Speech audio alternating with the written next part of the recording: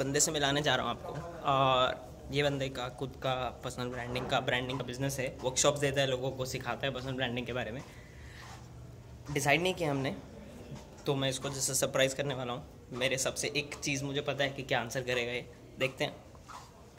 Below I have I have a question for you for my viewers is what according to you is the one thing that everybody needs to do or everybody needs to have like one most important thing when we talk about personal branding That's a very, very important question. Um, I'm Bello, very big on personal branding and the whole concept. Uh, my work tends to be in the field preceding to personal branding, which is self-awareness development.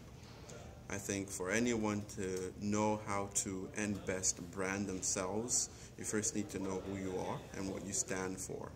And so, for me, from my perspective, it is imperative for you to know who you are, what you stand for, and how you best pursue that, and then proceed to making your personal brand.